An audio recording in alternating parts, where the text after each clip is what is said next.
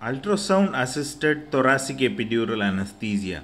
First, you have to mark the interlaminar space from caudad to cephalad or cephalad to caudad. This is how you learn marking the interlaminar space. This is how you get uh, obese patients for upper thoracic epidural. So, how do you mark the interlaminar spaces? By parasagittal technique, you move the probe from caudad to cephalad. You can see a continuous hypoacoustic shadow that is produced by the sacrum, then a breakage that is the interlaminar space, then you have the L5.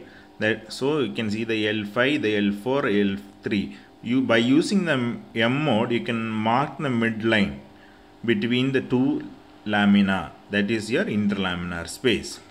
So this is how you are marked and you got the interlaminar spaces of L2, L3. So this is a patient coming for upper thoracic. I have marked the interlaminar space. Local anesthesia is being given. And this is a quite a long video. I don't want to edit it. So when an obese patient comes, what are the problems and how easy it goes, I want to show you. So I'm hitting a bone there. So if you hit a bone that can be the lamina. So what you do is take up to the skin level and then you move cephalomedial. That I have done it. And then I'm using the old technique hanging drop technique. I'm quite interested in this technique. So you put a drop of local anesthetic at the hub of the epidural needle and slowly keep advancing your epidural needle inch by inch so that you don't get into the thecal space. So as you get into the epidural space the hanging drop will get sucked in. So you will see that.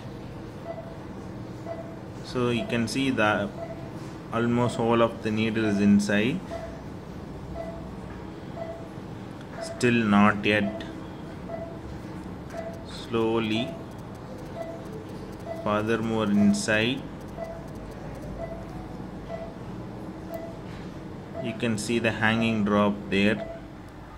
Now it gets sucked in. You can see there. You can see that goes inside. Okay. so leave there and then you thread your catheter. So it's around 9 centimeters so I have to fix my catheter at 14 centimeters 5 centimeters inside the epidural space.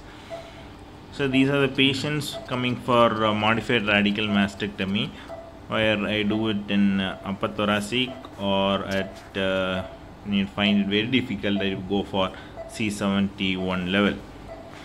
So what you do is thread the catheter as you know it is around 9 9 to 9.5 centimeters. So you need to get the catheter 20 centimeters inside.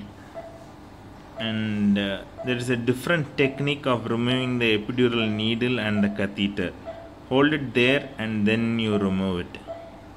This is uh, another technique. So I have to fix it at 14 centimeters can see the 19 centimeters there. So I have to pull out 5 centimeters and fix it. Thank you. Thanks for watching